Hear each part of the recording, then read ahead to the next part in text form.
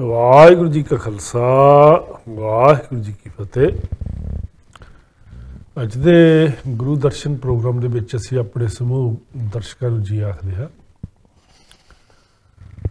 ਅਤੇ ਅਸੀਂ ਆਪਣੇ ਵਿਚਾਰ ਨੂੰ ਉੱਥੋਂ ਸ਼ੁਰੂ ਕਰਦੇ ਹਾਂ, ਜਿੱਥੇ ਅਸੀਂ ਆਪਣੇ ਵਿਚਾਰ ਪਿਛਲੇ ਪ੍ਰੋਗਰਾਮ ਦੇ ਵਿੱਚ ਛੱਡੇ ਸੀ।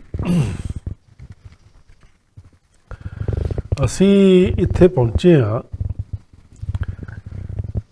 ਕਿ ਗੁਰੂ ਅਮਰਦਾਸ ਜੀ ਮਹਾਰਾਜ ਦਾ ਇੱਕ ਬਹੁਤ ਹੀ ਮਹਾਨ ਬਚਨ ਆ, ਰਾਗ ਮਲਾਰ ਦੇ ਵਿੱਚ। ਗੁਰੂ ਮਹਾਰਾਜ ਫਰਮਾਉਂਦੇ ਆ ਕਿ ਨਾ ਇਹੋ ਧਨ ਜਲੈ, ਨਾ ਤਸਕਰ ਲੈ ਜਾਏ। ਇਸ ਨਾਮ ਧਨ ਜਿਹੜਾ ਆ, ਨਾ ਤਾਂ ਅੱਗ ਵਿੱਚ ਜਲਦਾ ਆ ਤੇ ਨਾ ਇਸ ਧਨ ਨੂੰ ਕੋਈ ਚੋਰ ਜਿਹੜਾ ਆ, ਉਹ ਚੋਰੀ ਕਰ ਸਕਦਾ। ਨਾ ਇਹੋ ਧਨ ਡੂਬੈ, ਨਾ ਇਸ ਧਨ ਕੋ ਮਿਲੈ ਸਜਾਏ। ਇਹ ਨਾਮ ਧਨ ਜਿਹੜਾ ਆ, ਨਾ ਹੜਾਂ ਦੇ ਪਾਣੀ ਵਿੱਚ, ਨਾ ਡੁੱਬਦਾ ਆ। ਤੇ ਇਸ ਧਨ ਨੂੰ ਰੱਖਣ ਦੇ ਵਿੱਚ ਕਿਸੇ ਬੰਦੇ ਨੂੰ ਸਜ਼ਾ ਵੀ ਨਹੀਂ ਮਿਲਦੀ।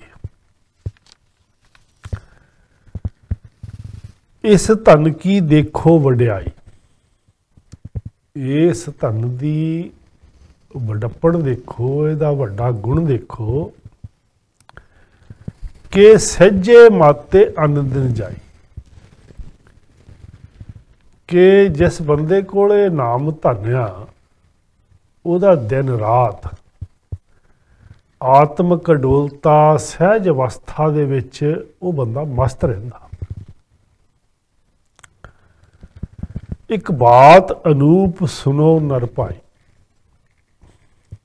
हे ਭਾਈ ਜਨੋ, ਇੱਕ ਬਹੁਤ ਸੋਹਣੀ ਗੱਲ ਤੁਸੀਂ ਇਹਦੇ ਬਾਰੇ ਸੁਣੋ ਕਿ ਇਸ ਧਨ ਬਿਨ ਕਹੋ ਕਿਨੇ ਪਰਮਗਤ ਪਾਈ। ਕਿ ਇਸ ਨਾਮ ਧਨ ਤੋਂ ਬਿਨਾ ਦੱਸੋ ਵੀ ਕਿਸੇ ਨੇ ਇੱਕ ਉੱਚੀ ਅਵਸਥਾ ਪ੍ਰਾਪਤ ਕੀਤੀ ਹੈ। ਸੋ ਅੱਜ ਦੀ ਵਿਚਾਰ ਚਰਚਾ ਦੇ ਵਿੱਚ ਸਾਡਾ ਸ਼ਾਮਲ ਹਨ ਗਿਆਨੀ ਸੰਤੋਖ ਸਿੰਘ ਜੀ। ਆਓ ਅਸੀਂ ਆਪਣੇ ਵਿਚਾਰ ਨੂੰ ਅਗਾਹ ਤੋਰਦੇ ਗਿਆਨੀ ਜੀ ਵਾਹ ਵਾਹਿਗੁਰੂ ਜੀ ਕਾ ਖਾਲਸਾ ਵਾਹਿਗੁਰੂ ਜੀ ਕੀ ਫਤਿਹ। ਅੱਛਾ ਗਿਆਨੀ ਜੀ ਇੱਥੇ ਮਹਾਰਾਜ ਨੇ ਕਈ ਸਾਨੂੰ ਗੱਲਾਂ ਦੱਸੀਆਂ ਇਸ ਨਾਮ ਧਨ ਦੇ ਬਾਰੇ ਦੇ ਵਿੱਚ। ਕਈ ਵਿਸ਼ੇਸ਼ਣ ਦੱਸ ਦਿੱਤੇ ਹੋਰ। ਹਾਂ ਕਿ ਇਹ ਨਾਮ ਧਨ ਹੈ ਕਿਦਾਂ ਦਾ? ਕਿ ਇੱਕ ਤਾਂ ਇਹ ਨਾਮ ਧਨ ਜਿਹੜਾ ਆ ਨਾ ਇਹੋ ਧਨ ਜਲੇ ਨਾ ਤਸਕਰ ਲੈ ਜਾਏ। ਜੀ ਵੀ ਚੋਰ ਇਹਨੂੰ ਚੋਰੀ ਨਹੀਂ ਕਰਦੇ। ਆ ਤਾਂ ਪਾਣੀ ਇਹਨਾਂ ਨੂੰ ਅੱਗੇ ਨੂੰ ਜਾ ਨਹੀਂ ਸਕਦਾ। ਅੱਗ ਨੂੰ ਥਾੜ ਨਹੀਂ ਸਕਦੀ। ਹੁਣ ਮਤਲਬ ਜਿਹੜੇ ਗੌਣ ਆ ਜੇ ਬੇਸਿਕਲੀ ਆਪਾਂ ਗੁਣਾਂ ਦੀ ਗੱਲ ਕਰੀਏ ਨਾਮ ਦੇ, ਜਿਹੜੇ ਪੱਖ, ਗੁਣਾਂ ਦਾ ਪੱਖ ਆ, ਕਿਉਂਕਿ ਨਾਮ ਜਿਹੜਾ ਮੁੱਢ ਆ, ਉਹ ਜਦੋਂ ਪਹਿਲੇ ਪ੍ਰਾਈਮਲ ਦੇ ਵਿੱਚ ਗੱਲ ਕਰਦੇ ਹਾਂ ਤਾਂ ਮੁੱਢਲੀ ਸਰੋਤ ਆ। ਉਸ ਨਾਮ ਦੇ ਵਿੱਚੋਂ ਜਿਹੜੇ ਗੁਣ ਪੈਦਾ ਹੁੰਦੇ ਆ, ਮਤਲਬ ਜੇ ਆਕਾਸ਼ ਦਾ ਗੁਣ ਦੇਖ ਲਈਏ, ਕਿਉਂਕਿ ਜਿਹੜੀ ਚੀਜ਼ ਜਿੱਥੋਂ ਬਣੀ ਆ, ਉਹਦੇ ਵਿੱਚ ਉਹਦੇ ਗੁਣ ਹੁੰਦੇ ਆ। ਜਿੱਦਾਂ ਸੋਨੇ ਤੋਂ ਬਣੀ ਹੋਈ ਚੀਜ਼ ਦੇ ਵਿੱਚ ਉਹਦੇ ਸੋਨੇ ਦਾ ਗੁਣ ਹੈ ਜਿਹੜਾ ਕੱਪੜਾ, ਜਿਹੜਾ ਕਾਟਨ ਦਾ ਆ, ਕਪਾਹ ਤੋਂ ਬਣਿਆ ਆ, ਉਹਦੇ ਵਿੱਚ ਕਪਾਹ ਦਾ ਗੁਣ ਹੋਣਾ। ਇਸੇ ਤਰੀਕੇ ਨਾਲ ਜਿਹੜੀ ਪਰਮ ਜੋਤ ਤੋਂ ਚੀਜ਼ਾਂ ਬਣੀਆਂ ਉਹਨਾਂ ਦੇ ਵਿੱਚ ਜੋਤ ਦੇ ਗੁਣ ਹੋਣੇ ਚਾਹੀਦੇ ਆ ਤੇ ਉਹ ਦੇਖਣ ਦੀ ਲੋੜ ਆ। ਇਸੇ ਤਰੀਕੇ ਨਾਲ ਜਿਹੜੀ ਸ੍ਰਿਸ਼ਟੀ ਬਣਦੀ ਹੈ ਸ੍ਰਿਸ਼ਟੀ ਰਚਨਾ ਭਾਵ ਨਾਮ ਤੱਤ ਤੋਂ ਹੀ ਸਾਰੇ ਤੱਤ ਬਣਦੇ ਆ। ਸੋ ਇਹਨਾਂ ਤੱਤਾਂ ਦੇ ਵਿੱਚ ਜੋਤ ਦੇ ਗੁਣ ਮੌਜੂਦ ਆ। ਸੋ ਉਹ ਗੁਣਾਂ ਨੂੰ ਦੇਖਣ ਦੀ ਲੋੜ ਆ ਵੀ ਜਿੱਦਾਂ ਆਕਾਸ਼ ਦਾ ਤੱਤ ਆ ਵੀ ਵਿਰਾਟ ਮਤਲਬ ਨਿਰਲੇਪਤਾ ਆ। ਸਾਰਿਆਂ ਚ ਹੁੰਦਿਆਂ ਹੋਇਆਂ ਵੀ ਮਹਿਸੂਸ ਨਹੀਂ ਹੁੰਦਾ। ਇਸੇ ਤਰੀਕੇ ਨਾਲ ਹੁਣ ਇਹ ਜਿਹੜਾ ਇਹ ਗੁਣ ਆ ਜੇ ਸੁਭਾਅ ਦੇ ਵਿੱਚ ਆ ਗਿਆ ਵੀ ਆਕਾਸ਼ ਵਾਂਗੂ ਓਪਨ ਖੁੱਲਾ ਵੀ ਜਿਹੜਾ ਸਾਰੀ ਚੀਜ਼ ਨੂੰ ਆਪਣੇ ਵਿੱਚ ਧਾਰਨ ਕਰੀ ਜਾਂਦਾ। ਵੀ ਜੇ ਇਦਾਂ ਦਾ ਸੁਭਾਅ ਬਣ ਗਿਆ ਹੁਣ ਇਹਨੂੰ ਕਿਹੜਾ ਪਾਣੀ ਸਾੜ ਦੂਗਾ ਇਸ ਗੁਣ ਨੂੰ? ਹੂੰ। ਅੱਗ ਕਿਹੜੀ ਸਾੜ ਦੂਗੀ ਕਿਉਂਕਿ ਇਹਦਾ ਇੱਕ ਆਤਮਿਕ ਗੁਣ ਬਣ ਗਿਆ। ਸੋ ਆਤਮਿਕ ਗੁਣ ਨੂੰ ਕੇਵਲ ਤੇ ਕੇਵਲ ਆਤਮਿਕ ਜਿਹੜੇ ਵਿਕਾਰ ਹੁੰਦੇ ਆ ਉਹੀ ਡੋਬਦੇ ਹੁੰਦੇ ਆ। ਹੁਣ ਜਦੋਂ ਗੁਣ ਅੰਦਰ ਆ ਗਿਆ ਉਹ ਗੁਣ ਤਾਂ ਬਾਹਰ ਨਿਕਲ ਗਏ ਹੁਣ ਇਹਨਾਂ ਦੇ ਬਰਾਬਰ ਦੀ ਕੋਈ ਫੋਰਸ ਹੈ ਨਹੀਂ। ਹੁਣ ਆਕਾਸ਼ ਦਾ ਤੱਤ ਇਹ ਬਣ ਗਿਆ ਇਸੇ ਤਰੀਕੇ ਨਾਲ ਜਿਹੜਾ ਧਰਤੀ ਦਾ ਸੁਭਾਅ ਆ ਵੀ ਸਭ ਨੂੰ ਧਾਰਨ ਕਰੀ ਜਾਂਦੀ ਹੈ ਮਤਲਬ ਜੋ ਮਰਜ਼ੀ ਇਹਦੇ ਅੰਦਰ ਸੈੱਟ ਦਿਓ, ਉਹਨੂੰ ਕਹਿੰਦੀ ਆ ਵੀ ਮੈਂ ਖਾ ਪੀ ਕੇ ਸੰਤੁਸ਼ਟ ਆ ਤੇ ਤੁਹਾਨੂੰ ਫੂਡ ਦੇਈ ਜਾਂਦੀ ਹੈ ਉਹ ਫੂਡ ਦੇ ਵਿੱਚੋਂ ਜੋ ਮਰਜ਼ੀ ਆਪਣੀ એનર્ਜੀ ਲਾਓ। ਸੋ ਇਸ ਤਰੀਕੇ ਨਾਲ ਧਰਤੀ ਦਾ ਧਾਰਨ ਕਰਨ ਦਾ ਸੁਭਾਅ ਵੀ ਹਰੇਕ ਚੀਜ਼ ਨੂੰ ਅਬਜ਼ਰਵ ਕਰ ਜਾਂਦੀ ਇਸ ਤਰੀਕੇ ਨਾਲ। ਸੋ ਦੂਜਾ ਜਿਹੜਾ ਆਪਣਾ ਪਾਣੀ ਆ, ਪਾਣੀ ਦਾ ਸੁਭਾਅ ਆ, ਸ਼ੀਤਲਤਾ ਦਾ, ਮਤਲਬ ਸਾਰਿਆਂ ਦੇ ਵਿੱਚ ਤ੍ਰਿਪਤੀ ਸਾਰਿਆਂ ਦੀ ਪਿਆਸ ਬੁਝਾਉਂਦਾ। ਸੋ ਜੇ ਪਿਆਸ ਬੁਝਾਉਣ ਦਾ ਗੁਣ ਨਾਮ ਦਾ, ਸਾਡੇ ਚ ਆ ਜਾਵੇ ਮਤਲਬ ਸਾਡੇ ਮਾਇਆ ਵੀ ਪਦਾਰਥਾਂ ਦੀ ਪਿਆਸ ਜਿਹੜੀ ਆ ਕਦੇ ਬੁਝਦੀ ਨਹੀਂ। ਜੇ ਨਾਮ ਧਨ ਕੋਲ ਹੈ ਨਹੀਂਗਾ। ਪਰ ਜੇ ਨਾਮ ਸਰੋਤ ਕੋਲ ਆ ਗਿਆ, ਤੇ ਮਾਇਆ ਦੇ ਜਿਹੜੇ ਬਾਧੂ ਦੇ ਡਿਜ਼ਾਇਰ ਬਣਾਈ ਜਾਂਦਾ ਸੀਗਾ, ਉਹ ਡਿਜ਼ਾਇਰ ਇਹਦੇ ਬੰਦ ਹੋ ਗਏ, ਤੇ ਮਾਇਆ ਵੱਲੋਂ ਤ੍ਰਿਪਤੀ ਹੋ ਗਈ। ਰੱਜ ਗਿਆ। ਹੁਣ ਜਿਹੜਾ ਰੱਜਿਆ ਆ, ਉਹਨੂੰ ਕਿਹੜੀ ਅੱਗ ਸਾੜ ਦੂਗੀ ਤਾਂ ਕਿਹੜਾ ਪਾਣੀ ਉਹਨੂੰ ਡੋਬ ਦੂਗਾ ਕਿਹੜਾ ਚੋਰ ਉਹਨੂੰ ਲੈ ਕੇ ਜਾਊਗਾ? ਜੇ ਚੋਰਾਂ ਦੀ ਗੱਲ ਆਪਾਂ ਕਾਮ ਕ੍ਰੋਧ ਦੀ ਕਰਦੇ ਵੀ ਇਹੀ ਇਨਸਾਨ ਦੇ ਸੁਭਾਅ ਦੇ ਵਿੱਚੋਂ ਜਿਹੜੇ ਚੰਗੇ ਗੁਣ ਚੋਰੀ ਕਰਦੇ ਆ, ਤੋ ਜੇ ਚੰਗੇ ਗੁਣ ਚੋਰੀ ਕਰਦੇ ਆ, ਜਿਹੜਾ ਮਨ ਹਉਮੈ ਤੇ ਬਣਿਆ ਆ, ਉਹਨਾਂ ਦਾ ਹੀ ਇਹ ਚੋਰੀ ਕਰਦੇ ਆ। ਵੀ ਜਿਹੜਾ ਨਾਮ ਦੇ ਆਧਾਰ ਦੇ ਉੱਤੇ ਆਪਣੇ ਜੀਵਨ ਨੂੰ ਬੇਸ ਕਰਦਾ, ਜਿਹੜਾ ਆਪਣੇ ਆਪ ਨੂੰ ਜੋਤ ਸਰੂਪ ਮੰਨਦਾ, ਜਾਂ ਜੋਤ ਸਰੂਪ ਦੇ ਅਕੋਰਡਿੰਗ ਹੋ ਕੇ ਆਪਣੀ ਜ਼ਿੰਦਗੀ ਜੀਂਦਾ, ਉਹਦੇ ਜਿਹੜੇ ਜੋਤ ਦੇ ਗੁਣ ਕੋਈ ਖੋ ਨਹੀਂ ਸਕਦਾ। ਸੋ ਇਸ ਤਰੀਕੇ ਨਾਲ ਆਦ, ਨੀਲ, ਅਨਾਹਤ ਨਾਹ ਜੁਗ ਜੁਗ ਇੱਕੋ ਬੇਸ ਮਤਲਬ ਵੀ ਉਹਦੀ ਜਿਹੜੀ ਮੁੱਢਲੀ ਸਤਾ ਆ, ਪਵਿੱਤਰ ਆ, ਉਹ ਸਭ ਦਾ ਮੁੱਢ ਆ ਤੇ ਉਹਦਾ ਆਪਣਾ ਕੋਈ ਮੁੱਢ ਨਹੀਂ ਤੇ ਉਹ ਅਨਹਦ ਆ, ਭਾਵ ਨਾਸ਼ ਰਹਿਤ ਆ। ਹੁਣ ਜੇ ਇਦਾਂ ਦੇ ਗਾਉਣ ਮਨ ਦੇ ਵਿੱਚ ਆ ਗਏ ਆ ਤੇ ਹੁਣ ਮਨ ਨੂੰ ਕੌਣ ਡੋਬੂਗਾ ਕੌਣ ਕਿਹੜਾ ਚੋਰ ਚੋਰੀ ਕਰੂਗਾ? ਸੋ ਇਸ ਤਰੀਕੇ ਨਾਲ ਆਪਣੇ ਆਪ ਨੂੰ ਇਹਦੇ ਨਾਲ ਸਾਂਝ ਪਾਉਣ ਦੀ ਲੋੜ ਆ, ਆਪਣੇ ਸੁਭਾਅ ਨੂੰ। ਵੀ ਜੇ ਮਨ ਇਦਾਂ ਜੋਤ ਦੇ ਪੱਖਾਂ ਨੂੰ ਦੇਖੂਗਾ, ਨਾਮ ਦੇ ਪੱਖ ਦੇ ਵਿੱਚੋਂ ਇਹ ਗੁਣਾ ਨੂੰ ਧਾਰਨ ਕਰੂਗਾ ਫਿਰ ਹੀ ਇਹਨੂੰ ਨਾਮ ਦੀ ਵੈਲਿਊ ਦਾ ਪਤਾ ਲੱਗੂਗਾ। ਨਹੀਂ ਤਾਂ ਭੌਤਿਕ ਲਈ ਜਦੋਂ ਗੁਰੂ ਮਹਾਰਾਜ ਆਹ ਹੁਣ ਗੱਲਾਂ ਕਰਦੇ ਆ, ਉਹਨੇ ਐਗਜ਼ੈਂਪਲਾਂ ਭੌਤਿਕ ਦੀਆਂ ਦਿੱਤੀਆਂ। ਕਿਉਂਕਿ ਜਿਹੜਾ ਮਾਇਆ ਅਸੀਂ ਭੌਤਿਕ ਤੌਰ ਤੇ ਇਕੱਤਰ ਕਰਦੇ ਆ, ਚੋਰਾਂ ਦਾ ਡਰ ਰਹਿੰਦਾ ਆਲਵੇਜ਼ ਵੀ ਸਾਡਾ ਚੋਰ ਕੋਈ ਚੋਰੀ ਨਾ ਕਰ ਜਵੇ। ਜੇ ਅੱਜ ਅਸੀਂ ਪਜੇ ਪੜ੍ਹੇ ਲਿਖੇ ਤਰੀਕੇ ਨਾਲ ਦੇਖੀਏ, ਅੱਜ ਲੋਕ ਚੋਰ ਘਰ ਵੀ ਨਹੀਂ ਆਉਂਦੇ, ਤੁਹਾਡਾ ਬੈਂਕਾਂ 'ਚੋਂ ਪੈਸਾ ਸਿੱਧਾ ਕੰਪਿਊਟਰ ਰਾਹੀਂ ਖਿੱਚ ਲੈਂਦੇ ਆ ਫਿਰ ਚੋਰ ਵੀ ਪੜ੍ਹੇ ਲਿਖੇ ਹੋ ਗਏ। ਸੋ ਇਸ ਤਰੀਕੇ ਨਾਲ ਜਿਹੜੀ ਚੀਜ਼ ਅਸੀਂ ਪੈਦਾ ਕੀਤੀ ਆ, ਉਹਦੇ ਜਾਣ ਦਾ ਸਾਨੂੰ ਡਰ ਰਹਿੰਦਾ। ਪਰ ਜਿਹੜਾ ਨਾਮ ਧਨ ਜਦੋਂ ਆਇਆ ਆ, ਇਹਨੇ ਜਾਣਾ ਨਹੀਂਗਾ ਇਹਨੂੰ ਚੋਰਾਂ ਤੋਂ ਵੀ ਨਹੀਂ ਡਰ ਕਿਸੇ ਦਾ। ਮਤਲਬ ਉਹ ਨਿਸ਼ੰਗ ਹੋ ਕੇ ਆਪਣਾ ਜੀਵਨ ਬਤੀਤ ਕਰਦਾ। ਸਾਰਿਆਂ ਦੇ ਵਿੱਚ ਸਭ ਕੋ ਮੀਤ ਹਮ ਆਪਨ ਕੀਨਾ, ਹਮ ਸਭਨਾ ਕੇ ਸਾਜਨ। ਉਹ ਇਸ ਤਰੀਕੇ ਨਾਲ ਆਪਣਾ ਹਿਰਦਾ ਬਣਾ ਕੇ ਰੱਖਦਾ। ਇਹ ਨਹੀਂਗਾ ਵੀ ਉਹਨੂੰ ਹੁਣ ਬਾਹਰ ਕੋਈ ਕੋਈ ਡਰੱਗੀ ਮਿਲ ਗਿਆ ਜਾਂ ਅਲਕੋਹਲਕ ਮਿਲ ਗਿਆ ਜਾਂ ਉਹ ਹੁਣ ਉਹਦੇ ਮੁੱਕਾ ਮਾਰਨ ਲੱਗਾ ਤਾਂ ਵੀ ਉਹ ਹੁਣ, ਪਰੇ ਨੂੰ ਮਤਲਬ ਆਪਣੀ ਸੇਫਟੀ ਵੀ ਨਹੀਂ ਕਰਦਾ ਉਹਨਾਂ 'ਚ ਵੀ ਰੱਬ ਦੇਖਦਾ। ਉਹਨੂੰ ਪੂਰੀ ਅਵੇਅਰਨੈਸ ਆ ਵੀ ਇਹ ਸਰਚ ਮੇਰੀ ਆ ਇਹ ਮੇਰੀ ਖੋਜ ਆ ਇਹ ਮੈਨੂੰ ਗੁਰੂ ਨੇ ਵਰਦਾਨ ਦਿੱਤਾ ਉਹਨਾਂ ਦੇ ਕੋਲ ਇਹ ਹੈ ਨਹੀਂ। ਮੋਰੇ ਪਸ਼ੂ ਵਰਤੀ ਆ। ਪਸ਼ੂ ਵਰਤੀ ਦੇ ਨਾਲ ਮੈਨੂੰ ਡੀਲ ਕਰਨਾ ਵੀ ਆਉਣਾ ਚਾਹੀਦਾ। ਸੋ ਇਸ ਕਰਕੇ ਜਿਹੜਾ ਇਹ ਪੱਖ ਜਿਹੜਾ ਗੁਰਮਤ ਦਾ ਆ ਵੀ ਪਰਸਨੈਲਿਟੀ ਦੇ ਵਿੱਚ ਜਦੋਂ ਇੱਕ ਨਾਮ ਆਪਾਂ ਵਰਤਦੇ ਆ ਵੀ ਸੰਤ ਤੇ ਸਿਪਾਹੀ ਇਹ ਕਰੈਕਟਰ ਆ। ਸੰਤ ਤੇ ਸਿਪਾਹੀ ਦਾ। ਉਹਨੇ ਸੰਤਤਾ ਹੀ ਕਾਇਮ ਰੱਖਣੀ ਆ ਸੁਭਾਅ ਦੇ ਵਿੱਚ।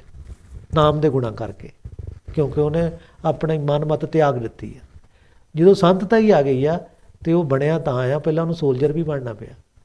ਜੇ ਉਹਨੂੰ ਬਕਾਰਾਂ ਨਾਲ ਟੱਕਰਾ ਨਾ ਕਰਨਾ ਆਉਂਦਾ ਜੇ ਉਹਨੂੰ ਸ਼ਬਦ ਵਿਚਾਰ ਨਾ ਕਰਨੀ ਆਉਂਦੀ ਤਾਂ ਉਹਨੇ ਸੋਲਜਰ ਵੀ ਕਿੱਥੇ ਬਣਨਾ ਸੀ? ਸੋਲਜਰ ਬਣਿਆ ਹੀ ਤਾਂ ਆ ਕਰਕੇ ਸੰਤ ਬਣਨਾ। ਸੰਤ ਬਣਿਆ ਹੀ ਤਾਂ ਆ ਕਰਕੇ ਸੰਤਤਾ ਇਹਦੀ ਪ੍ਰੋਟੈਕਟ ਵੀ ਕਰਨੀ ਹੈ। ਪ੍ਰੋਟੈਕਸ਼ਨ ਵੀ ਕਰਨੀ ਹੈ। ਮਤਲਬ ਆਪਣੇ ਸੁਭਾਅ ਨੂੰ ਮੇਨਟੇਨ ਕਰਕੇ ਇਨਫ ਨਹੀਂਗਾ ਮੇਨਟੇਨ ਕਰਕੇ ਵੀ ਉਹਦੀ ਪ੍ਰੋਟੈਕਸ਼ਨ ਲਈ ਕੰਮ ਕਰਨਾ ਪੈਣਾ। ਸੋ ਇਸ ਕਰਕੇ ਸਾਡੀ ਜਿਹੜੀ ਪਰਸਨੈਲਿਟੀ ਆ, ਜਿਹੜੀ ਗੁਰਮਤ ਦੇ, ਜਿਹੜੀ ਵੋਕੈਬਲਰੀ ਸਾਨੂੰ ਦਿੱਤੀ ਆ, ਉਹਦੇ ਵਿੱਚ ਜਿਹੜਾ ਸੰਤ ਸਿਪਾਹੀ ਸ਼ਬਦ ਪੂਰਾ ਟੁਕਦਾ, ਹਰੇਕ ਇਨਸਾਨ ਤੇ। ਵੀ ਦੋ ਹੀ ਸੁਭਾਅ ਦੇ ਪੱਖ ਆ, ਸਾਡੀ ਪਰਸਨੈਲਿਟੀ ਦੇ ਹਿਊਮਨ ਦੇ ਫਿਰ ਸੰਤਤਾਈ ਤੇ ਜਿਹੜੀ ਸੋਲਜਰ ਇਹ ਦੋ ਹੀ ਚੀਜ਼ਾਂ ਸਾਡੇ ਜੀਵਨ 'ਚ ਹੋਣੀਆਂ ਚਾਹੀਦੀਆਂ। ਵੀ ਜੇ ਅਸੀਂ ਸੋਲਜਰ ਨਹੀਂਗੇ, ਅਸੀਂ ਲੜ ਨਹੀਂ ਸਕਦੇ। ਅਸੀਂ ਆਪਣੇ ਬਕਾਰਾਂ ਨਾਲ ਟਕਰਾ ਨਹੀਂ ਕਰ ਸਕਦੇ। ਆਪਣੀਆਂ ਗੰਦੀਆਂ ਮਨੌਤਾਂ ਜਿਹੜੀਆਂ ਆ ਉਹ ਨਹੀਂ ਛੱਡ ਸਕਦੇ। ਉਹ ਗੰਦੀਆਂ ਮਨੌਤਾਂ ਨੂੰ ਛੱਡਣ ਦੇ ਲਈ ਸਾਨੂੰ ਸੋਲਜਰ ਬਣਨਾ ਪੈਣਾ। ਸੋ ਇਸ ਕਰਕੇ ਸੋਲਜਰ ਦਾ ਪੱਖ ਗੁਰੂ ਸਮਝਾਵੇ ਤਾਂ ਸਮਝਦਾ ਇਨਸਾਨ। ਨਹੀਂ ਤਾਂ ਜੇ ਬਾਹਰ ਭੌਤਿਕ ਦੁਨੀਆ ਦੇ ਵਿੱਚ ਦੇਖੀਏ ਨਸ਼ਾ ਪੀ ਕੇ ਤਾਂ ਹਰ ਕੋਈ ਸੋਲਜਰ ਬਣਿਆ ਫਿਰਦਾ। ਵੀ ਇੱਕ ਦੂਜੇ ਨੂੰ ਵੱਢਣ ਟੁੱਕਣ ਲਈ ਤਾਂ ਹਰ ਕੋਈ ਤਿਆਰ ਆ। ਗਾਲਾਂ ਗੂਲਾਂ ਕੱਢਣ ਨੂੰ ਤਾਂ ਹਰ ਕੋਈ ਤਿਆਰ ਆ। ਪਰ ਸੰਤਤਾਈ ਕਾਇਮ ਰੱਖਣ ਦੇ ਲਈ ਕੋਈ ਤਿਆਰ ਨਹੀਂ। ਵੀ ਜੇ ਸੰਤਤਾਈ ਜੀਵਨ ਦੇ ਵਿੱਚ ਹੈ ਨਹੀਂਗੀ ਤਾਂ ਤੁਹਾਡਾ ਜਿਹੜਾ ਫਲੇਵਰ ਲਾਈਫ ਦਾ ਉਹ ਵੀ ਖਤਮ ਹੋ ਜਾਂਦਾ। ਕਿਉਂਕਿ ਅੰਦਰ ਦੋਸ਼ ਭਰ ਗਿਆ। ਸੋ ਦੋਸ਼ ਨੂੰ ਬਾਹਰ ਕੱਢਣ ਦੇ ਲਈ ਜ਼ਰੂਰੀ ਆ ਵੀ ਅੰਦਰ ਜਿਹੜੀ ਆ ਉਹ ਨਾਮ ਦੇ ਗੁਣ ਜਿਹੜੇ ਅੰਦਰ ਆਉਣਗੇ। ਕਿਉਂਕਿ ਇਹ ਨਾਮ ਦਾ ਲਖਾਇਕ ਹੀ ਸੰਤਤਾਈ ਸੁਭਾਅ ਆ। ਵੀ ਜੇ ਸੰਤਤਾਈ ਅੰਦਰ ਆਊਗੀ ਤਾਂ ਫਿਰ ਹੀ ਸਿਪਾਹੀ ਦਾ ਗੁਣ ਵੀ ਉਹਦੇ ਵਿੱਚ ਹੋਊਗਾ। ਆਹੋ ਹੁਣ ਇੱਥੇ ਮਹਾਰਾਜ ਨੇ ਜਿਹੜੀ ਸਾਨੂੰ ਗੱਲ ਦੱਸੀ ਹੈ ਨਾ ਜੀ। ਕਿ ਇਹ ਨਾਮ ਧਨ ਨਾ ਤਾਂ ਅੱਗ ਵਿੱਚ ਜਲਦਾ ਆ। ਹੂੰ। ਨਾ ਇਹਨੂੰ ਚੋਰ ਜਿਹੜਾ ਚੋਰੀ ਕਰ ਸਕਦਾ ਆ। ਹਾਂ ਵੀ ਜਿਹੇ ਭੌਤਿਕ ਆ ਗਿਆ ਉਹ ਇਹਨੂੰ ਸਾੜ ਨਹੀਂ ਸਕਦੀ। ਭੌਤਿਕ ਚੋਰ ਹੈ ਚੋਰੀ ਨਹੀਂ ਕਰ ਸਕਦਾ। ਹਾਂ। ਕਰਕੇ ਭੌਤਿਕ ਚੀਜ਼ ਹੀ ਹੈ ਨਹੀਂਗੀ ਆ ਤੇ ਜੇ ਇਹ ਇਸ ਨਾਮ ਧਨ ਨੂੰ ਕੋਈ ਹੜਾ ਵਿੱਚ ਵੀ ਨਹੀਂ ਇਹ ਡੋਬ ਸਕਦਾ। ਡੁੱਬ ਜਾਂਦਾ ਪਾਣੀ ਵਿੱਚ ਵੀ ਨਹੀਂ ਡੁੱਬਦਾ। ਜਾਂ ਹਾਂਜੀ। ਜਾਂ ਤੇ ਨਾ ਇਸ ਧਨ ਨੂੰ ਜਿਹੜੇ ਜਿਹਦੇ ਬੰਦੇ ਨੇ ਕੋਲ ਰੱਖਿਆ ਆ ਹੂੰ। ਹੁਣ ਦੇਖੋ ਜੇ ਕੋਈ ਇਕੱਠੇ ਕੀਤਾ ਕਿਸੇ ਨੇ ਚਾਰ ਪੈਸੇ ਹੂੰ। ਤਾਂ ਉਹਨੂੰ ਟੈਕਸ ਵਾਲੇ ਆ ਫੜਦੇ ਆ। ਹਾਂ ਵੀ ਵਾਧੂ ਤੇਰੇ ਕੋਲ ਕਿੱਥਾ ਆ ਗਿਆ? ਬਈ ਦੇ ਹਿਸਾਬ ਬਈ। ਇਸ ਕਰਕੇ ਉਹਨੂੰ ਦੇਖੋ ਦੁਨਿਆਵੀ ਧਨ ਨੂੰ ਇਕੱਠਾ ਕਰਨ ਦੇ ਵਿੱਚ ਤੁਹਾਡੇ ਤੁਹਾਨੂੰ ਸਜ਼ਾ ਵੀ ਮਿਲਦੀ ਹੈ ਯਾ ਹੁਣ ਇਸ ਧਨ ਨੂੰ ਇਕੱਠਾ ਕਰਨ ਦੇ ਵਿੱਚ ਤੁਹਾਨੂੰ ਕੋਈ ਸਜ਼ਾ ਵੀ ਨਹੀਂ ਮਿਲਦੀ। ਜੀ ਜੀ ਜੀ। ਹਾਂਜੀ ਸੋ ਕਾਰਨ ਇਹ ਆ ਵੀ ਇਹ ਜਿਹੜਾ ਨਾਮ ਦਾ ਧਨ ਆ ਜਿਹਦੇ ਕੋਲ ਨਾਮ ਧਾਨਿਆ ਉਹਨੂੰ ਕੋਈ ਟੈਕਸ ਨਹੀਂ ਲਾਉਂਦਾ। ਆ ਜਿਹਦਾ ਜਿਹੜਾ ਜਮਰਾਜ ਆ ਆਮ ਤੌਰ ਦੇ ਉੱਤੇ ਜਿਹੜਾ ਮੈਂ ਮਤ ਦੇ ਵਿੱਚ ਇਨਸਾਨ ਤੁਰਿਆ ਆ ਹਾਂਜੀ ਹਾਂਜੀ। ਉਹਨੂੰ 올ਵੇਜ਼ ਜਿਹੜਾ ਜਾਮ ਆ ਉਹਨੂੰ ਟੈਕਸ ਵਸੂਲਦਾ ਹੂੰ। ਕਾਮ ਦੇ ਰੂਪ ਵਿੱਚ ਕ੍ਰੋਧ ਦੇ ਰੂਪ ਦੇ ਵਿੱਚ ਨਿੰਦਿਆ ਚੁਗਲੀ ਦੇ ਰੂਪ ਦੇ ਵਿੱਚ। ਉਹਦੇ ਤੇ ਇਹ ਟੈਕਸ ਲੱਗਦੇ ਆ। ਵੀ ਕਿਉਂਕਿ ਤੇਰੇ ਕੋਲ ਕਿੰਨੇ ਨਾਮ ਧਨ ਹੈ ਨਹੀਂਗਾ ਇਸ ਕਰਕੇ ਤੈਨੂੰ ਇਹ ਟੈਕਸ ਦੇਣੇ ਪੈਣੇ ਆ। ਵੀ ਜੇ ਨਾਮ ਧਨ ਤੇਰੇ ਕੋਲ ਹੁੰਦਾ ਫਿਰ ਤੇਰੇ ਤੇ ਆ ਟੈਕਸ ਨਹੀਂ ਲੱਗਣੇ ਸੀ। ਫਿਰ ਤੂੰ ਇਹ ਚੀਜ਼ਾਂ ਦੇ ਬੈਲੈਂਸ ਰੱਖਣਾ ਸੀਗਾ। ਫਿਰ ਨਿੰਦਿਆ ਚੁਗਲੀ ਸੁਭਾਅ ਜਿਹੜਾ ਦੂਜੇ ਨਾਲ ਜੈਲਸੀ ਕਰਨੀ ਆ ਜਾਂ ਦੂਜੇ ਦੇ ਆਬਜੈਕਟ ਨੂੰ ਚੋਰੀ ਕਰਨ ਦੀ ਵਰਤੀ ਆ ਜਾਂ ਚੀਟਿੰਗ ਕਰਨੀ ਕਿਸੇ ਨਾਲ ਜਾਂ ਹੋਰ ਇਦਾਂ ਦੇ ਜਿਹੜੇ ਦੋਸ਼ ਆ ਵੀ ਪਰਗਾਮੀ ਜਾਂ ਹੋਰ ਜਿਹੜਾ ਪਰ ਨਿੰਦਿਆ ਇਹ ਸਾਰਾ ਜਿਹੜਾ ਪੱਖ ਆ ਇਹ ਟੈਕਸ ਰੂਪ ਦੇ ਵਿੱਚ ਸਾਡੀ ਜ਼ਿੰਦਗੀ ਜਾਂਦੀ ਆ। ਵੀ ਗੁਲਾਮੀ ਦੀ ਇੱਕ ਤਰ੍ਹਾਂ ਕਹਿ ਦਈਏ ਵੀ ਜਿਹੜਾ ਜਿਹੜੇ ਟੈਕਸ ਵਾਲੇ ਛੱਡਦੇ ਥੋੜੀ ਕਿਸੇ ਨੂੰ ਜਿਹਦੇ ਪਿੱਛੇ ਪੈ ਜਾਂਦੇ ਤੁਸੀਂ ਇੰਡੀਆ ਦੀ ਹਾਲਤ ਦੇਖਦੇ ਹੀ ਆ ਡੇ ਬਾਈ ਡੇ ਆਓ ਜਿਹੜਾ ਮੜਾ ਜਾ ਉਹਨਾਂ ਦੇ ਖਿਲਾਫ ਹੁੰਦਾ ਉਹ ਕਹਿੰਦੇ ਚਲੋ ਹਲਕਾ ਜਿਹਾ ਕਰੋ ਮੜਾ ਜਿਹਾ। ਸਾਫ਼ ਦਿਓ ਜੀ। ਸੋ ਇਸੇ ਤਰੀਕੇ ਨਾਲ ਇਹ ਆਤਮਿਕ ਜੀਵਨ ਦੇ ਵਿੱਚ ਵੀ ਇਦਾਂ ਹੀ ਆ। ਹੂੰ। ਮਤਲਬ ਜੇ ਅਸੀਂ ਆਪਣੀ ਪਿਓਰਿਟੀ ਨੂੰ ਕਾਇਮ ਰੱਖਣਾ ਤਾਂ ਟੈਕਸ ਵਾਲਿਆਂ ਦਾ ਮੂੰਹ ਭਰਨਾ ਪੈਣਾ। ਫਿਰ ਟੈਕਸ ਵਾਲੇ ਘਰ ਨਹੀਂ ਵੜਦੇ ਉਹ ਕਹਿੰਦੇ ਉਹ ਗੱਲ ਪਤਾ ਕੀ ਬਣਦੀ ਆ? ਉਹ ਟੈਕਸ ਵਾਲੇ ਕਹਿੰਦੇ ਇੱਥੇ ਕੁਝ ਹੈ ਨਹੀਂ ਹੈ ਲੀਗਲੀ ਇੱਥੇ ਕੋਈ ਕੰਮ ਹੈ ਨਹੀਂ ਇਦਾਂ ਦਾ।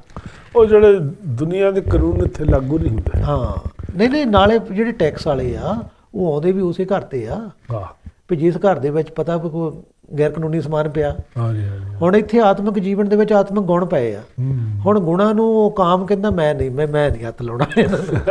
ਵੀ ਕ੍ਰੋਧ ਕਹਿੰਦਾ ਵੀ ਮੈਂ ਵੀ ਨਹੀਂ ਇੱਥੇ ਹੋਣਾ ਹਉਮੈ ਕਹਿੰਦੀ ਆ ਨਾ ਨਾ ਮੇਰਾ ਤਾਂ ਤਾਂ ਹੀ ਹੈ ਨਹੀਂ ਹੁਣ ਇਹ। ਕੋਈ ਤਲਕ ਹੀ ਨਹੀਂ ਸਾਡਾ ਹਨਾ? ਇੱਥੇ। ਵੀ ਉਹ ਵੀ ਮਤਲਬ ਟੈਕਸ ਵਾਲੇ ਪਾਸੇ ਹੋਗਾ ਸੋ ਇਸ ਤਰੀਕੇ ਨਾਲ ਜਿਹੜਾ ਆਮ ਜਨ ਜੀਵਨ ਆ ਉਹ ਇਹ ਟੈਕਸ ਦਿੰਦਾ ਸਾਰੀ ਜ਼ਿੰਦਗੀ। ਸੋ ਇਦਾਂ ਆਪਣੇ ਜੀਵਨ ਨੂੰ ਇਦਾਂ ਸਮਝਣ ਦੀ ਲੋੜ ਆ। ਆਹੋ ਹੁਣ ਇਹ ਨਾਮ ਤਨ ਵੀ ਇਹਦਾ ਜਿਹੜਾ ਟਿਕਾਣਾ ਆ ਉਹ ਵੀ ਮਨੁੱਖ ਦੇ ਹਿਰਦੇ ਵਿੱਚ ਆ। ਬਸ। ਹਿਰਦੇ ਵਿੱਚ ਪਹੁੰਚ ਜਿਹੜੀ ਆ ਤੁਹਾਡੀ ਆਪਣੀ ਹੋ ਸਕਦੀ ਆ। ਜੀ। ਜਾਂ ਅਕਾਲ ਪੁਰਖ ਦੀ ਆ। ਗੁਰੂ ਦੀ? ਗੁਰੂ ਅਕਾਲ ਪੁਰਖ ਦੀ? ਹਾਂ। ਯਾ। ਇਸ ਕਰਕੇ ਹੋਰ ਕਿਸੇ ਦੀ ਇੱਥੇ ਪਹੁੰਚ ਨਹੀਂ ਹੈ। ਜੀ। ਇਸੇ ਕਰਕੇ ਉੱਥੇ ਕੋਈ ਚੋਰ ਨਹੀਂ ਜਾ ਸਕਦਾ। ਯਾ। ਤੇ ਨਾ ਹੀ ਕੋਈ ਅੱਗ ਉੱਥੇ ਪਹੁੰਚ ਸਕਦੀ। ਜੀ ਜੀ ਜੀ। ਤੇ ਜਿਹੜੀ ਇੱਕ ਹੋਰ ਮਾਰੇ ਸਾਨੂੰ ਕਹਿੰਦੇ ਆ ਵੀ ਇਸ ਧਨ ਕੀ ਦੇਖੋ ਵਡਿਆਈ ਇਹਦਾ ਇੱਕ ਵੱਡਾ ਗੁਣ ਦੇਖੋ। ਹੂੰ। ਇਹਦਾ ਗੁਣ ਇਹ ਆ ਬਈ ਸਹਿਜੇ ਮਾਤੇ ਆਨੰਦ ਨ ਜਾਈ ਹੂੰ। ਜਿਹਦੇ ਕੋਲ ਇਹ ਨਾਮ ਧਨ ਉਹਦੇ ਕੋਲ ਆ ਨਾ ਉਹਦਾ ਦਿਨ ਰਾਤ ਭਵ ਹਮੇਸ਼ਾ ਹੀ। ਜੀ ਜੀ। ਉਹ ਮਨੁੱਖ ਸਹਿਜ ਦੇ ਵਿੱਚ ਮਸਤ ਰਹੂਗਾ। ਰਵਿਦਾਸ ਮਹਾਰਾਜ ਜੀ ਦਾ ਮੈਨੂੰ ਇੱਥੇ ਉਹ ਸ਼ਬਦ ਚੇਤੇ ਆਉਂਦਾ ਵੀ ਬੇਗਮਪੁਰਾ ਸ਼ਹਿਰ ਕੋ ਨਾਓ ਦੁਖ ਅੰਦੋ ਨਹੀਂ ਤੈ ਥਾਓ ਨਾ ਤਸਵੀਜ਼ ਖਰਾਜ ਨਮਾਲ ਖੌਫ ਨ ਖਤਾ ਨ ਤਰਸ ਜਵਾਲ। ਅਬ ਮਹਿ ਖੂਬ ਬਤਨਗਾ ਪਾਈ ਉਹਾਂ ਖੈਰ ਸਦਾ ਮੇਰੇ ਪਾਈ ਵੀ ਉਹ ਇਹ ਜਿਹੜਾ ਬੇਗਮਪੁਰਾ ਆ ਵੀ ਜਿਹੜੀ ਸੱਚਖੰਡ ਦੀ ਅਵਸਥਾ ਆ ਜਾਂ ਜਿਹੜੀ ਇਹ ਨਾਮ ਪ੍ਰਾਪਤੀ ਦੀ ਅਵਸਥਾ ਆ ਇਹਦੇ ਵਿੱਚ ਹੁਣ ਦੁੱਖ ਅੰਦੋ ਦੇ ਥਾਂ ਨਹੀਂ ਰਹਿ ਗਏ। ਹੁਣ ਇਹਦੇ ਵਿੱਚ ਆਨੰਦ ਹੀ ਆਨੰਦ ਆ। ਇਹਦੇ ਵਿੱਚ ਖੁਸ਼ੀ ਖੁਸ਼ੀ ਆ ਕਿਉਂਕਿ ਖੁਸਣ ਦਾ ਕੋਈ ਡਰ ਹੀ ਨਹੀਂਗਾ ਕਿਉਂਕਿ ਮਰਨ ਦੀ ਚਿੰਤਾ ਜਦ ਖਤਮ ਹੀ ਹੋ ਗਈ ਕਿਉਂਕਿ ਮੌਤ ਹੀ ਸਾਨੂੰ ਡਰਾਉਂਦੀ ਸੀ ਬਾਰ-ਬਾਰ ਗੁਰੂ ਨੇ ਪਹਿਲਾਂ ਹੀ ਮਾਰ ਦਿੱਤਾ। ਉਹ ਸਭ ਤੋਂ ਬੜਾ ਡਰ ਮੌਤ ਦਾ ਹੀ ਦਿੰਦੇ ਮੌਤ ਦਾ ਡਰ ਆ। ਉਹ ਗੁਰੂ ਨੇ ਪਹਿਲਾਂ ਹੀ ਹਉਮੈ ਜਿਹੜੀ ਆ ਮਾਰ ਦਿੱਤੀ ਹੈ ਜਿਹੜੀ ਮੌਤ ਸਾਨੂੰ ਬਾਰ-ਬਾਰ ਮਾਰਦੀ ਸੀ। ਹੁਣ ਜਦੋਂ ਗੁਰੂ ਨੇ ਇਹ ਪਹਿਲਾਂ ਹੀ ਮਾਰ ਦਿੱਤਾ ਤਾਂ ਫਿਰ ਮੌਤ ਤੋਂ ਬਾਅਦ ਫਿਰ ਅਮਰ ਆ। ਜਦੋਂ ਇੱਕ ਵਾਰੀ ਮਰ ਗਿਆ ਹੈ, ਤਾਂ ਫਿਰ ਅਮਰ ਆ। ਮਤਲਬ ਜਿਹੜੀ ਅੰਮ੍ਰਿਤ ਆ ਅੰਮ੍ਰਿਤ ਦੀ ਜਿਹੜੀ ਕੰਡੀਸ਼ਨ ਆ ਵੀ ਜੇ ਕਹਿੰਦੇ ਤੂੰ ਅੰਮ੍ਰਿਤ ਪ੍ਰਾਪਤ ਕਰਨਾ ਤਾਂ ਤੈਨੂੰ ਮਰਨਾ ਪੈਣਾ। ਆਮ ਆਮ ਜਨ ਜੀਵਨ ਜੇ ਗੁਰੂ ਦੀ ਸ਼ਰਨ ਵਿੱਚ ਜਾਂਦਾ ਵੀ ਗੁਰੂ ਨੂੰ ਇਹ ਪੁੱਛਦਾ ਵੀ ਮੈਂ ਚਰੰਜੀਵੀ ਜੀਵਾਂ। ਲੌਂਗ ਲਾਈਫ ਵੀ ਮੈਂ ਮਰਾਂ ਹੀ ਨਾ। ਗੁਰੂ ਕਹਿੰਦਾ ਠੀਕ ਆ। ਵੀ ਨਹੀਂ ਤੂੰ ਮਰੂੰਗਾ। ਪਰ ਕਹਿੰਦੇ ਮੈਨੂੰ ਸਿਰ ਦੇ ਦੇ। ਉਹ ਕਹਿੰਦਾ ਜੀ ਇਹ ਸਿਰ ਦਿੱਤਾ ਫਿਰ ਤਾਂ ਮੈਂ ਮਰ ਗਿਆ। ਆ ਮੈਂ ਤਾਂ ਮਰ ਜਾਣਾ। ਫਿਰ ਕਹਿੰਦਾ ਵੀ ਜੇ ਤੈਨੂੰ ਮੇਰੇ ਤੇ ਯਕੀਨ ਹੀ ਨਹੀਂਗਾ ਆ ਵੀ ਤੂੰ ਭਰਾਵਾ ਜਿੱਥੋਂ ਆਇਆ ਉੱਥੇ ਚਲ ਜਾ। ਆ ਮੈਂ ਤੈਨੂੰ ਤੇਰਾ ਸਿਰ ਮੰਗਦਾ। ਯਾ। ਵੀ ਮੈਂ ਤੇਰੀ ਜਿਹੜੀ ਕੂੜ ਦੀ ਕੰਧ ਆ ਉਹ ਮੰਗਦਾ। ਠੀਕ ਆ। ਜੇ ਤੂੰ ਕੂੜ ਦੀ ਕੰਧ ਮੈਨੂੰ ਦੇ ਦਊਂਗਾ ਮੈਂ ਤੈਨੂੰ ਉਹਦੇ ਵੱਟੇ ਸੱਚ ਦੇ ਦਊਂਗਾ। ਹੂੰ।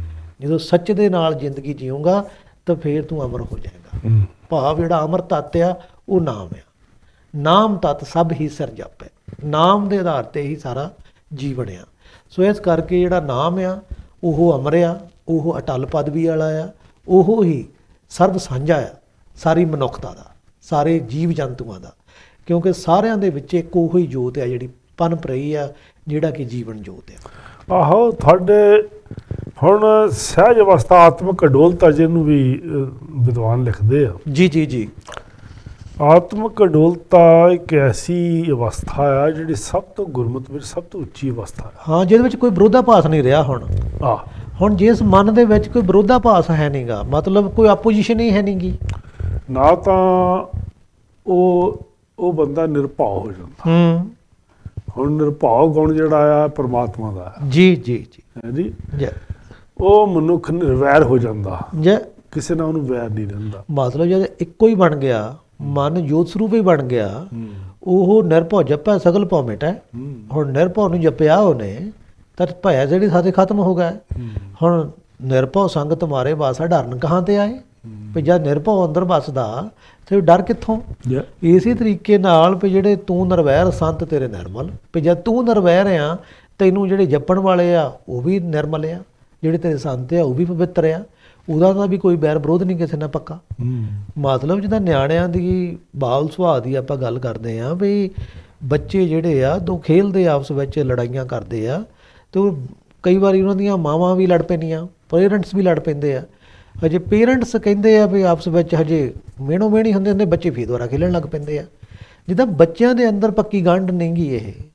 ਇਸੇ ਤਰੀਕੇ ਨਾਲ ਸੰਤ ਦੇ ਅੰਦਰ ਵੀ ਇਹ ਪੱਕੀ ਗੰਢ ਨਹੀਂਗੀ ਮਤਲਬ ਜੇ ਅਸੀਂ ਗੁਰੂ ਸਾਹਿਬ ਦੇ ਜੀਵਨ ਵੱਲ ਦੇਖੀਏ ਵੀ ਔਰੰਗਜ਼ੇਬ ਨੇ ਗੁਰੂਆਂ ਨਾਲ ਕੀ ਕੀਤਾ? ਜਹਾਂਗੀਰ ਨੇ ਕੀ ਕੀਤਾ? ਜਹਾਂਗੀਰ ਨੇ ਦੇਖ ਲਓ ਵੀ ਗੁਰੂ ਅਰਜਨ ਦੇਵ ਜੀ ਨੂੰ ਤਤੀ ਤਵੀ ਤੇ ਸ਼ਹੀਦ ਕਰਾਇਆ। ਉਸ ਤੋਂ ਬਾਅਦ ਗੁਰੂ ਹਰਗੋਬਿੰਦ ਸਾਹਿਬ ਜੀ ਨੇ ਫਿਰ ਉਹਦੇ ਨਾਲ ਸੁਲ੍ਹਾ ਨਹੀਂ ਕੀਤੀ। ਇਸੇ ਤਰੀਕੇ ਨਾਲ ਜੇ ਅਸੀਂ ਗੁਰੂ ਤੇਗ ਬਹਾਦਰ ਸਾਹਿਬ ਜੀ ਦੀ ਗੱਲ ਕਰੀਏ, ਉਹਨੂੰ ਤਸੀਹੇ ਦੇ ਦੇ ਕੇ ਔਰੰਗਜ਼ੇਬ ਨੇ ਸ਼ਹੀਦ ਕਰਵਾਇਆ। ਤੇ ਉਸ ਤੋਂ ਬਾਅਦ ਗੁਰੂ ਗੋਬਿੰਦ ਸਿੰਘ ਜੀ ਫੇਰ ਸੁਲ੍ਹਾ ਦਾ ਰਸਤਾ ਓਪਨ ਕਰਦੇ ਸੀਗੇ ਵੀ ਰਾਜਸੀ ਤੇ ਧਰਮ ਦੀ ਲੜਾਈ ਨਹੀਂ ਹੋਣੀ ਚਾਹੀਦੀ। ਵੀ ਜੇ ਧਰਮ ਆ ਕਿਉਂਕਿ ਇਸ ਲੜਾਈ ਦੇ ਵਿੱਚ ਆਮ ਜਨਤਾ ਜਿਹੜੀ ਆ ਉਹ ਹੀ ਖਪਦੀ ਆ ਉਹ ਹੀ ਮਰਦੀ ਆ। ਮਰਦਾ ਆਮ ਇਨਸਾਨ ਆ। ਹੂੰ ਹੂੰ। ਸੋ ਅੱਜ ਜਦੋਂ ਸਾਡੇ ਸੰਕੀਰਣਤਾ ਦੀ ਗੱਲ ਕਰਦੇ ਆ ਤੇ ਬੜੀ ਪ੍ਰੋਬਲਮ ਵੱਡੀ ਆ ਜਾਂਦੀ ਹੈ ਵੀ ਉਹ ਜਿਹੜਾ ਰੋਲ ਮਾਡਲ ਜਿਹੜਾ ਸਿੱਖੀ ਦਾ ਉਹ ਸਰੂਪ ਆ ਸਾਡੇ ਅੱਜ ਦਿਸ ਨਹੀਂ ਰਿਹਾ ਕਿਸੇ ਪਾਸੇ। ਅਸੀਂ ਜਿੱਥੇ ਇੱਕ ਵਾਰ ਲੀਕ ਮਾਰਤੀ ਬਸ। ਮੁੜ ਕੇ ਨਹੀਂ ਉਧਰ ਨੂੰ ਜਾਣਾ। ਆਹੋ ਇਹ ਦੇਖੋ ਜਿਹੜੀ ਸਿੱਖੀ ਦੇ ਵਿੱਚ ਵੀ ਕਈ ਤਾਂ ਜਿਹੜੇ ਜਿਹੜੇ ਸਾਨੂੰ ਜ਼ਿਆਦਾ ਵਿਜ਼ੀਬਲ ਸਿੱਖ ਦਿਸਦੇ ਆ ਨਾ ਹੂੰ। ਜਿਹੜੇ ਬਹੁਤ ਉਹ ਜਾਂ ਤਾਂ ਕੱਟੜਵਾਦ ਦੇ ਸ਼ਿਕਾਰ ਆ। ਜੀ ਜੀ। ਮਤਲਬ ਹਉਮੈ ਪ੍ਰਧਾਨ ਆ ਸੁਭਾਅ ਦੇ। ਵਿੱਚ। ਉਹ ਕੱਟੜਵਾਦ ਕਰਮਕਾਂਡ ਤੇ ਜਿਹੜਾ ਲੋਕ ਦਿਖਾਵਾ। ਵਿਖਾਵੇ ਦੀ ਸਿੱਖੀ? ਹਾਂਜੀ। ਹੂੰ। ਉਹ ਉਹ ਜ਼ਿਆਦਾ ਭਾਰੂ ਹੋਏ ਆ ਜਿਹਦੇ ਨਾਲ ਉਹ ਜਿਹੜੇ ਆਤਮਿਕ ਗੁਣ ਆ ਜਿਨ੍ਹਾਂ ਦੀ ਗੁਰਬਾਣੀ ਗੱਲ ਕਰਦੀ ਆ। ਜਾਂ ਉਹਨਾਂ ਚ ਦੱਸਦੇ ਨਹੀਂ। ਜਿਹੜਾ ਜਿਨ੍ਹਾਂ ਦੇ ਵਿੱਚ ਸਹਿਜ ਆਉਣਾ ਹੂੰ। ਜਿੱਥੇ ਤੱਕ ਸਹਿਜ ਦੀ ਅਵਸਥਾ ਤੱਕ ਪਹੁੰਚਣਾ ਉਹ ਉਹਨਾਂ ਵਿੱਚ ਦਿਸਦੇ ਨਹੀਂ ਨਾ ਉਹਨਾਂ ਦੀ ਬੋਲਚਾਲ ਵਿੱਚ ਦਿਸਦੇ ਆ ਨਾ ਉਹਨਾਂ ਦੇ ਵਰਤੋਂ ਵਿਹਾਰ ਵਿੱਚ ਦਿਸਦੇ ਆ। ਹੂੰ। ਹਾਂਜੀ ਤੇ ਹਉਮੈ ਹਉਮੈ। ਜੀ ਬਿਲਕੁਲ। ਅੱਛਾ ਇਹ ਤਾਂ ਗਾਂ ਦੀ ਇੱਕ ਜਿਹੜੀ ਮਹਾਰਾਜ ਬੜੀ ਪਤੇ ਦੀ ਗੱਲ ਕਰਦੇ ਆ ਕਿ ਇੱਕ ਬਾਤ ਅਨੂਪ ਸੁਨੋ ਨਰ ਭਾਈ ਹੂੰ ਉਪਮਾ ਰਹਿ ਤੇ ਜਿਹੜੀ ਬਾਤ ਆ। ਹਾਂ ਵੀ ਜਿਹੜੀ ਬਹੁਤ ਹੀ ਸੁੰਦਰ ਹੂੰ। ਜਿਹਦੀ ਕੋਈ ਗੱਲ ਤੁਸੀਂ ਕਰ ਨਹੀਂ ਸਕਦੇ। ਜੀ ਜੀ ਜੀ। ਵੀ ਉਹ ਤੁਸੀਂ ਇਹ ਸੁਣੋ ਕਿ ਪਹਿਲਾਂ ਇਹ ਦੱਸੋ ਵੀ ਇਸ ਨਾਮ ਧਨ ਤੋਂ ਬਿਨਾ ਕਿਸੇ ਨੂੰ ਉੱਚੀ ਅਵਸਥਾ ਮਿਲੀ ਹੈ ਹੂੰ ਨਾਲ ਕੁਐਸਚਨ ਕ੍ਰੀਏਟ ਕਰਤੇ ਨਾਲ ਕਹਿੰਦੇ ਨਾਲ ਹੀ ਉਹ ਇਹ ਜਵਾਬ ਵੀ ਦੇ ਰਿਹਾ ਵੀ ਇਦਾਂ ਦਾ ਹੈ ਨਹੀਂ ਕੁਝ ਵੀ ਹਾਂ। ਇਹ ਤੋਂ ਬਗੈਰ ਕੋਈ ਉੱਚੀ ਅਵਸਥਾ ਨਹੀਂ। ਵਾਹ। ਨਾਲ ਇਹ ਵੀ ਉਹ ਕੰਡੀਸ਼ਨ ਲਾ ਰਹੇ ਆ ਵੀ ਇਹਦੇ ਤੋਂ ਬਗੈਰ ਮਤਲਬ ਦੁਨੀਆ ਦੇ ਵਿੱਚ ਬੜੇ ਸੈਕੂਲਰ ਐਜੂਕੇਸ਼ਨ ਦੇ ਵਿੱਚ ਮਾਹਰ ਮਿਲ ਜਾਂਦੇ ਸਾਨੂੰ ਜਿਨ੍ਹਾਂ ਨੇ ਪੀ ਡੀਆਂ ਕੀਤੀਆਂ ਆ। ਉਹ ਕਹਿੰਦੇ ਸਾਡੇ ਕੋਲ ਬਣ ਗਈ ਗੱਲ। ਤੇ ਉਹ ਬੜਾ ਜਦੋਂ ਗੁਰੂ ਮਹਾਰਾਜ ਦੱਸਦੇ ਆ ਵੀ ਸਭ ਸੁਰਤੀ। ਮਿਲ ਸੁਰਤ ਕਮਾਈ ਸਭ ਕੀਮਤ ਮਿਲ ਕੀਮਤ ਪਾਈ ਗਿਆਨੀ ਧਿਆਨੀ ਗੁਰ ਗੁਰਹਾਈ ਕਹਿਣ ਨਾ ਜਾਏ ਤੇਰੇ ਤਿਲ ਵਡਿਆਈ ਕਹਿੰਦੇ ਗੱਲ ਆ ਸੀ ਵੱਡੇ ਮੇਰੇ ਸਾਹਿਬਾ ਗੁਣੀ ਗਹੀਰਾ। ਕੋਈ ਨਾ ਜਾਣੇ ਤੇਰਾ ਕੀਤਾ ਕੀ ਵੱਡ ਚੀਰਾ। ਸੋ ਆ ਜਿਹੜੀ ਗੱਲ ਆ ਉਹ ਗੱਲ ਹੋ ਰਿਹਾ ਜਿਹੜੀ ਉਹ ਗੱਲ ਆ ਪਿੱਛੇ ਉਹ ਉਹਨਾਂ ਲੋਕਾਂ ਦੀ ਗੱਲ ਆ ਜਿਹੜੇ ਕਲੇਮ ਕਰਦੇ ਰਹਿੰਦੇ ਵੀ ਸਾਨੂੰ ਇਹ ਤੋਂ ਬਗੈਰ ਹੀ ਮਿਲ ਗਈ। ਉਹ ਕਹਿੰਦੇ ਇਸ ਨਾਮ ਤੋਂ ਬਗੈਰ ਕਿਸੇ ਦੀ ਉੱਚੀ ਅਵਸਥਾ ਨਹੀਂ ਆਹ ਉੱਚੀ ਤੁਹਾਡਾ ਉੱਚਾ ਆਤਮਿਕ ਜੀਵਨ ਜਿਹੜੇ। ਹੁਣ ਅਸੀਂ ਕਿਸੇ ਬੰਦਿਆਂ ਨੂੰ ਕਹਿੰਦੇ ਆ ਵੀ ਇਹ ਬੰਦਾ ਜਿਹੜਾ ਆ ਇਹ ਸਹਿਜ ਅਵਸਥਾ ਵਿੱਚ ਆ। ਆਹੋ ਵੀ ਜਦ ਅਸੀਂ ਉੱਚੇ ਨੂੰ ਮਿਲੇ ਨਹੀਂ ਅਸੀਂ ਉੱਚੇ ਕਿੱਦਾਂ ਹੋ ਗਏ? ਹਾਂ। ਵੀ ਉੱਚਾ ਪ੍ਰਾਈਮਲ ਫੋਰਸ ਜਿਹੜੀ ਜੋਤ ਪੱਖ ਆ ਉਹੀ ਸਭ ਤੋਂ ਉੱਚਾ ਜਿਹੜਾ ਮੈਟਾਫਿਜ਼ਿਕਸ ਆ।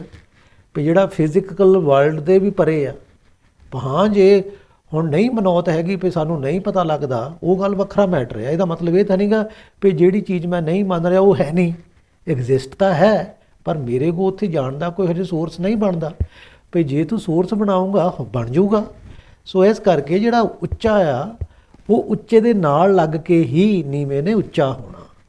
ਭਾਵ ਜੇ ਸਾਡਾ ਮਨ ਵਿਕਾਰਾਂ ਦੇ ਵਿੱਚ, ਹਉਮੈ ਦੇ ਵਿੱਚ ਨਮਾਨਤਾ ਦੇ ਵਿੱਚ ਆ, ਮਤਲਬ ਇਹਦੇ ਅੰਦਰ ਹੰਕਾਰੀ ਸੁਭਾਅ ਦੇ ਨਾਲ ਇਹਦੀ ਮਤਲਬ ਬਿਰਤੀ ਬੜੀ ਡਾਊਨ ਅਵਸਥਾ ਵਿੱਚ ਆ, ਤਾਂ ਇਹਨੇ ਹਾਈ ਸਟੇਟਸ ਦਾ ਤਦੇ ਹੀ ਬਣਨਾ, ਇਹਨੇ ਜੋਤ ਸਰੂਪ ਨੂੰ ਮਿਲ ਕੇ। ਜਿਹੜਾ ਜੋਤ ਸਰੂਪ ਆ, ਉਹਦੇ ਜਦੋਂ ਗੁਣਾਂ ਨੂੰ ਇਹਨੇ ਅਪਣਾਉਣਾ, ਫਿਰ ਇਹਨੇ ਰਾਇਲ ਵੀ ਬਣਨਾ ਤੇ ਫਿਰ ਇਹਨੇ ਲਾਇਲ ਵੀ ਬਣ ਜਾਣਾ। ਇਹ ਦੋ ਹੀ ਗੁਣ ਜਿਹੜੇ ਬੜੇ ਮੰਨੇ ਪਰਮੰਨੇ ਆ ਰਾਇਲ ਤੇ ਲਾਇਲ ਹੂੰ। ਸੋ ਇਹ ਮਹਾਨਤਾ ਆ ਸੰਤ ਤੇ ਸਿਪਾਹੀ ਦੀ ਇਹ ਗੁਣ ਆ ਐਕਚੁਅਲ ਜੇ ਧਿਆਨ ਨਾਲ ਦੇਖਿਆ ਜਾਵੇ। ਠੀਕ। ਜੀ। ਇੱਥੇ ਸਾਡੇ ਅੱਜ ਦੇ ਸਮੇਂ ਦੀ ਸਮਾਪਤੀ ਹੈ। ਤੇ ਅਸੀਂ ਵਿਚਾਰ ਕਰ ਰਹੇ ਸਾਂ ਮਾਰੂ ਰਾਗ ਦੇ ਵਿੱਚ ਗੁਰੂ ਨਾਨਕ ਦੇਵ ਜੀ ਦੇ ਇਹਨਾਂ ਮਹਾਨ ਬਚਨਾਂ ਤੇ। ਕਿ ਨਾ ਇਹੋ ਧਨ ਜਲੈ, ਨਾ ਤਸਕਰ ਲੈ ਜਾਏ।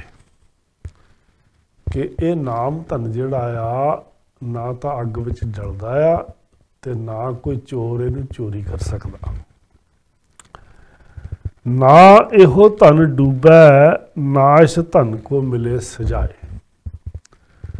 ਨਾ ਇਹ ਧਨ ਜਿਹੜਾ ਆ, ਪਾਣੀ ਵਿੱਚ ਹੜਾਂ ਵਿੱਚ ਡੁੱਬਦਾ ਆ ਤੇ ਨਾ ਇਸ ਧਨ ਨੂੰ ਰੱਖਣ ਕਰਕੇ ਕਿਸੇ ਨੂੰ ਸਜ਼ਾ ਮਿਲਦੀ ਹੈ